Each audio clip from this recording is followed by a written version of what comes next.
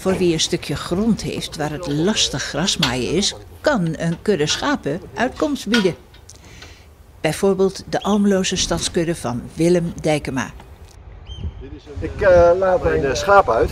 Uh, twee rammen, ja eigenlijk een hamel en een ram. Een hamel is een gekasteerde ram. En die grazen voornamelijk in Almelo op van dit soort overstukjes. Heel veel bedrijven hebben zo'n uitbreidingsterrein waar het gras nou ja, zo hoog staat. En daar laat ik ze eten, gratis en voor niks. Ja, ze hebben hier een heel klein stukje gekregen. Ik denk dat ze hier een week of twee krap staan. Misschien niet eens. Hangt af, hè. gaat het regenen of niet. Veel regen, dan, dan groeit het gras een beetje door. Anders zet ik ze weer een stukje verder. Kijk maar zo om je heen, er is genoeg. Uh, de donkere die je ziet, dat is een uh, Herdwick. Een ras-echte Herdwick uit het uh, Lake District. Met mooie horens. En de andere is, de naam is Billy the Kid. Dat is een rammetje die ik heb gekregen van Landschap Overijssel. Uh, die heeft een kudde op de Argemerberg en Lemelenberg. En daar loop ik af en toe als vrijwillig schaapherder. En daar kreeg ik een ram van.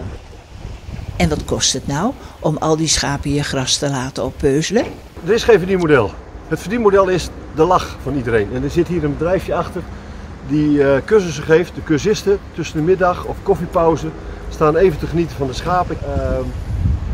Je merkt, die mensen zijn allemaal even tussen de middag in de lunch. Normaal zitten ze in de kantine. Het is mooi weer, we gaan even buiten, even, even naar die schaapjes kijken.